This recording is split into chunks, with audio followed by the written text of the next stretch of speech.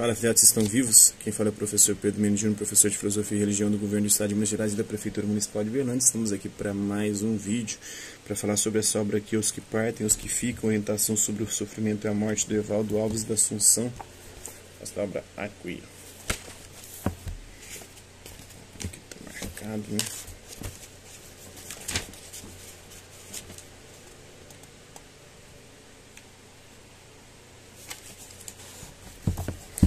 O Dr. Evaldo Alves da Assunção é médico, formado na Faculdade de Medicina da Universidade Federal de Minas Gerais, UFMG, em 1963.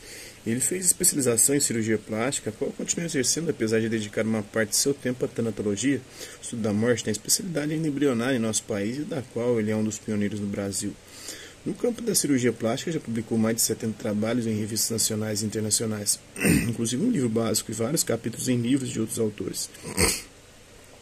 É professor de ética profissional da PUC, da Pontifícia Universidade Católica, é, foi, né? Até 1986 escreveu também um livro sobre conceitos de ética para profissionais de saúde, que teve grande divulgação. Autor de livros de pesquisa religiosa, como Sudário de Turim, é, o Evangelho para o século XX, e o Mistério da Virgem de Guadalupe. Foi também o editor e um dos autores do livro Morte e Suicídio, que reuniu os principais temas debatidos durante o primeiro Congresso Internacional de Tanatologia, realizado em Belo Horizonte em setembro de 1981, do qual ele foi ele o presidente. Ele é membro da Academia Mineira de Medicina, da Sociedade Brasileira de Médicos e Escritores do Instituto Mineiro de História da Medicina. As suas atividades profissionais são uma grande exposição para trabalhos literários no campo de ensaios, crônicas e como poeta bissisto. É, há 10 anos vem se preparando e agora se lança decididamente no trabalho da tanatologia, através das atividades do Cosmo, né, o Centro de Orientação sobre o Sofrimento e a Morte, do qual ele é o idealizador e um dos fundadores, da editora O Lutador. Isso, a obra, né, a apresentação, a introdução. Gislaine Maria da Assunção, psicóloga transpessoal e tanatóloga, diretora do Cosmo, Centro de Orientação sobre o Sofrimento e a Morte. Há 10 anos iniciamos um trabalho no sentido de mudar o conceito que a nossa cultura tem sobre a morte. Este conceito é carregado de medos, tabus e preconceitos, o que causa muitos sofrimentos. Em nossa caminhada, percebemos cada vez mais como a falta de consciência em relação à vida e à morte influencia negativamente a vida das pessoas, causando-lhes grandes sofrimentos que podem ser evitados. O preconceito em relação a este assunto é tão grande que impede as pessoas até mesmo de pensar sobre ele, mais ainda, de falar e inteirar-se do que existe a esse respeito.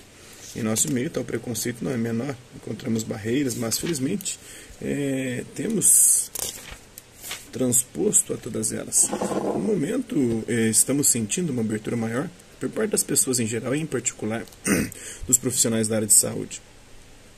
Evaldo começou fazendo palestras para a comunidade. Há três anos demos início a grupos de vivência em hospital e no consultório.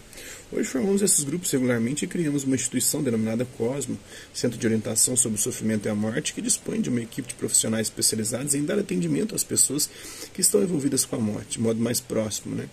Aquelas que, que são portadoras de doenças graves, as que perderam um ente querido e ou que estão com familiares à morte. Neste trabalho, verificamos que são poucos os livros que abordam este assunto, especialmente de uma maneira prática é, e para os que deles necessitam.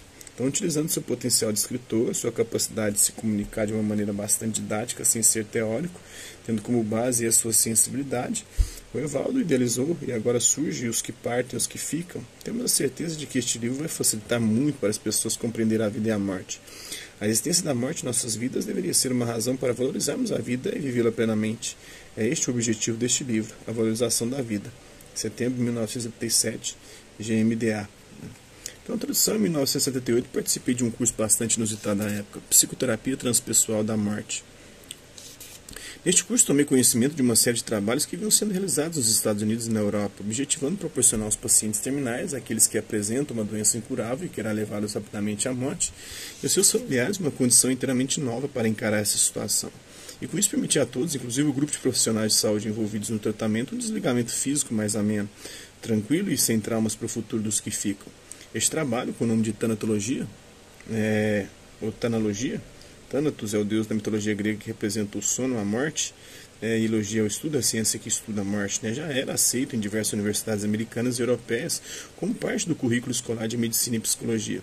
Eu fiquei fascinado com a nova especialidade médico-psicológica e decidi aprofundar-me em seu estudo, apesar de exercer a cirurgia plástica. Então, há mais de 14 anos, e senti-me realizado dentro dessa atividade. Esse é um trecho dessa aula, espero que vocês tenham gostado do vídeo. É... Quem curtiu, dá um like, não curtiu, dá um dislike. Interessado pelo conteúdo do canal, é só se inscrever, ativar o sininho e mandar os próximos vídeos as próximas notificações. Deixe também seus comentários, o que você tem dos vídeos, sugestões de temas e assuntos para serem abordados em vídeos posteriores. E colabore com o nosso canal, compartilhe os nossos vídeos e ajude a chegar o número de pessoas possíveis. Gostaria aqui de agradecer os mais de 3 mil inscritos no nosso canal, agradecer também aqueles garotos por conta de conteúdo passa por aqui, deixando suas visualizações, seu like, seu dislike, seus comentários, que eles compartilhem os nossos vídeos, compartilhem o nosso canal, seja aqui nas plataformas do YouTube e outras redes sociais. Mas é isso aí. Hasta la vista, babies, e até a próxima.